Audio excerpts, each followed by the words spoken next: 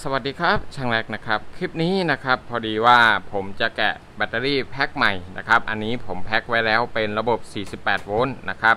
ตัวนี้เป็นแบตเตอรี่ลิเธียมฟอสเฟตนะครับขนาด 32140 นะครับความจุ 15 แอมป์นะครับ ผมประกอบไว้เป็น 48 โวลต์ไว้ test เครื่องลูกค้านะครับ แต่ตอนนี้จะรื้อแพ็คใหม่เป็น 12 โวลต์เอาไปใช้กับอ่าอ่าโฟกลิฟไฟฟ้านะครับ ก็เลยนะครับนึกได้ก็เลยจะพามาดูจุด spot นะครับว่าอ่าที่ผม spot ไว้เนี่ยมันแน่นดีแค่ไหนนะครับ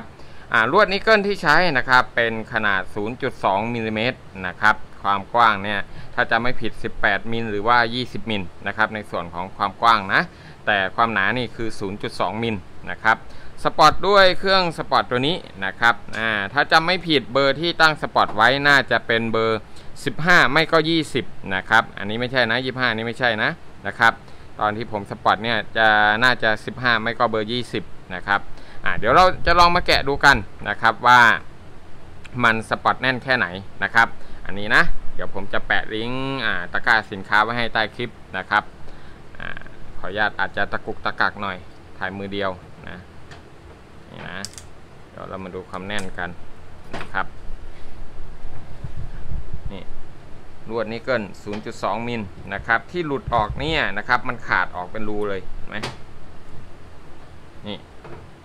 อ่าฉีกออกทะลุออกแบบนี้นะครับ ก็แสดงว่าอ่าสปอตได้ติดแน่นแน่นอนนะครับนี่นะถ้าไม่ตั้งใจจริงๆ ก็คงไม่หลุดง่ายๆนะครับ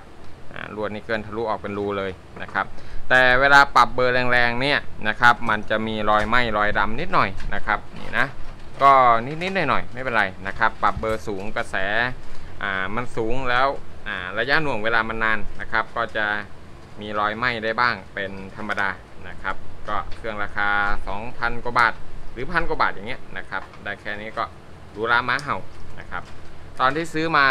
เครื่องเนี้ยนะครับอยู่พันปลายๆเท่านั้นเองนะครับถือว่าราคาถูกมากนะอ่าถ้าซื้อแพงกว่านี้แน่นอนก็ย่อมดีกว่านี้นะครับแต่ถ้า ใครที่จะเอาไป spot แค่อ่า18650ก็เหลือๆนะลวด0.2มิลนะครับเห็นนะนี่อ่าแน่นนะลวดนิกเกิล0.2นี่คือทะลุทุกจุดเห็นไหมอ่าที่มันหลุดมาเพราะว่ามันมันขาดออกมาเลยมันฉีกออกมาเลยนะครับ อาจจะเหมือนแกะง่าย แต่ว่าที่จริงแล้วคือมันหลุดออกมาเลยนี่เห็นไหมมันเป็นรูทะลุเป็นรู อ่านี่เห็นไหมอืมถ้าอ่าตะไบหัวสปอตตรงเนี้ยน่าจะต้องตะไบหัวสปอตตรงนี้ให้มันทู่ๆสักหน่อยนึงนี่นะหัวสปอตถ้ามันแหลมเกินไปนะครับ ตอนใหม่ๆเนี่ยมันจะแหลมกว่านี้นะครับ ถ้ามันแหลมเกินไปจุดสปอตมันก็อาจจะเล็กนะครับทำให้มันอ่าฉีกออกได้ง่ายนะครับอ่ามันก็เลยเหมือนจะแกะง่ายนะ ที่จริงมันมันมันก็แน่นแหละ ถ้าไม่ตั้งใจฉีกออกแบบนี้ก็คงไม่หลุดนี่เห็นไหมมันทะลุนะ มันทะลุทุกจุดเลยนี่เห็นไหมจุด spot มันทะลุอ่าแต่มันฉีกง่ายนะครับ มันฉีกออกง่าย ไม่แน่ใจว่าเป็นที่จุด spot มันเล็กเกินไป หรือว่าลวดนิกเกิลมันมันมันเปราะเกินไปหรือเปล่าไม่แน่ใจอุ้ยอุ้ยโดนโดนแล้วหนึ่งดอกลืมไปนะน่าจะแกะไปอีกทางหนึ่ง แม่อ่าอีกด้านหนึ่ง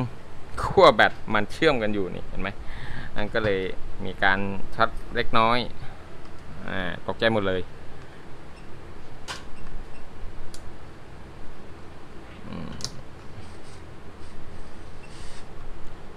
ที่จริงใครที่ไม่เคยทำแบตเตอรี่นะครับ อาจจะดูว่ามันอันตรายนะ แต่ที่จริงมันก็ไม่ถึงขนาดนั้นมันความจุมันไม่เยอะครับ 15 แอมป์ 3.2 โวลต์ มันก็โวลต์ต่ำๆนะระบบ 48 โวลต์ก็ไม่ได้น่ากลัวอะไรขนาดนั้นนี่พอแกะออกแล้วมันก็แรงดันมันจะต่ำลงเรื่อยๆนะครับ โอเค คลิปนี้ก็ไม่มีอะไรพามาดูตัวเครื่องสปอตแล้วก็งานที่สปอตได้นะครับ ก็เรียกได้ว่าเพียงพอต่อการใช้งานนะครับ ใครจะรับประกอบแพ็คแบตขายหรือว่า DIY ประกอบเองก็เพียงพอแน่นอนนะสำหรับผมนี่แน่นนะ เห็นไหม อ่าถ้าไม่ตั้งใจดึงจริง ๆ มันก็ไม่ออกนะครับโอเคคลิปนี้ก็อ่าพามาดูประมาณนี้นะครับสำหรับใครที่สนใจตัว spot ตัวนี้ เดี๋ยวผมจะแปะลิงก์ไว้ใต้คลิปวิดีโอนะครับ